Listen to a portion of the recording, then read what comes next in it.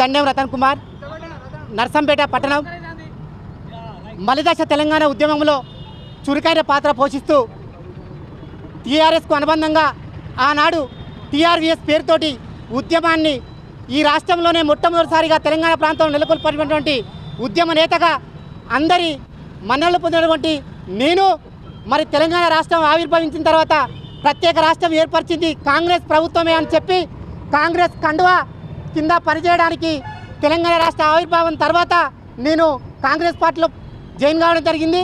మరి ఆనాడు తెలంగాణ ఉద్యమంలో అందరినీ ఏకం చేయడం కోసం నా వంతు చురుకైన పాత్ర పోషిస్తూ మరి నేను ఏం చేస్తే ఈ తెలంగాణ రాష్ట్రం ఏర్పడుతుంది?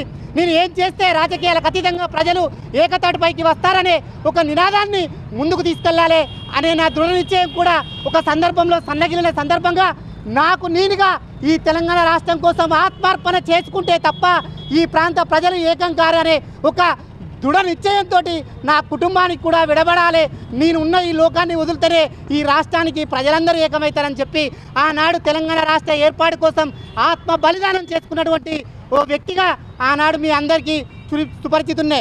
కానీ ఈనాడు ఈ తెలంగాణ రాష్ట్రంలో ప్రభుత్వం ప్రవేశపెట్టినటువంటి దళిత బంధు దళితుడనైనటువంటి నాకు కూడా వర్తింప చేయకుండా రాజకీయ కక్ష సాధింపు చర్యగా ఈ నియోజకవర్గం ప్రజా ప్రతినిధులు మరి గౌరవ శాసనసభ్యులు ఎదుర్కోవడం నా దురదృష్టం.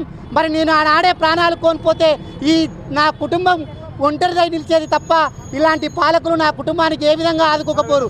ఎందుకంటే ఈనాడు అమలు చేస్తున్నటువంటి దళిత బంధే ఇందుకు నిదర్శనం.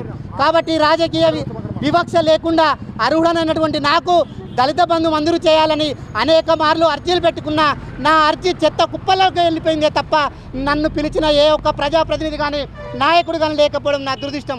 అందుకే నర్సంపేట నడిబొడ్డు ఉద్యమ స్ఫూర్తిని తీసుకొని మరోసారి తొలుత బంధు మంజూరు చేయాలనేటువంటి నినాదంతో అర్ధనగ్నంగా నర్సంపేట పట్టణం నుండి కలెక్టరేట్ వరకు పాదయాత్ర చేస్తూ నేను ఏదైతే దళిత బంధు ఆశిస్తున్నానో ఆ పథకానికి నేను వంద శాతం అర్హుడనే. కానీ కాంగ్రెస్ కార్యకర్తను అనేటువంటి ఒక సాకుతోటే నాకు అది వర్తింప చేయడం లేదని చెప్పి మొరబెట్టుకోవడానికి మీ అందరి సమక్షంలో కలెక్టరేట్కు పాదయాత్రగా పోతున్నా. మీ అందరు నాకు సహకరించాలి అని చెప్పి మీ అందరిని మరోసారి వేడుకుంటూ జై తెలంగాణ!